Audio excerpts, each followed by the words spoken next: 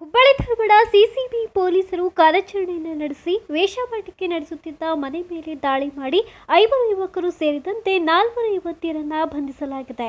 ಇನ್ನು ಉಪನಗರ ಠಾಣೆಗೆ ಕರೆತಂದ ಪೊಲೀಸರು ನೇಪಾಳ ಮೂಲದ ಯುವತಿಯರು ವೇಷಾವಟಿಕೆ ಸಂಬಂಧವಾಗಿ ಧಾರವಾಡದಲ್ಲಿ ನೆಲೆಸಿದ್ರು ಎನ್ನಲಾಗಿದೆ.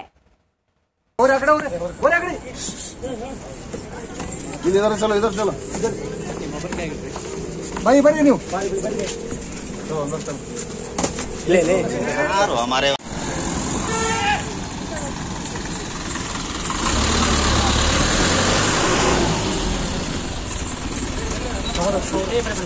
ನೀವು ಬರಮ್ಮ ಈ